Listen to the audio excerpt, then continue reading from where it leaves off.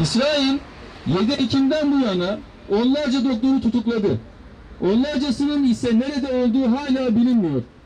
Gazze şehrinin ana hastanesi Şifa Hastanesi başhekimi Muhammed Ebu Salmiya 22 Kasım'dan bu yana İsrail tarafından tutuklu tut bulunuyor. Toplam sayısı 54 olan pek çok kıdemli doktor neredeyse bir aydır hiçbir suçlama olmaksızın İsrail ordusu tarafından gözaltında tutulmaya devam ediyor.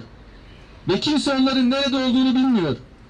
Bu yürüyüşe katılan herkese, sağlık çalışanlarına, tüm halkımıza ve duyarlı bütün kardeşlerimize teşekkür Tutuklu mesleklaş, meslektaşlarımızı güvenli bir şekilde teslim almak ve onları özgür görmek istiyoruz.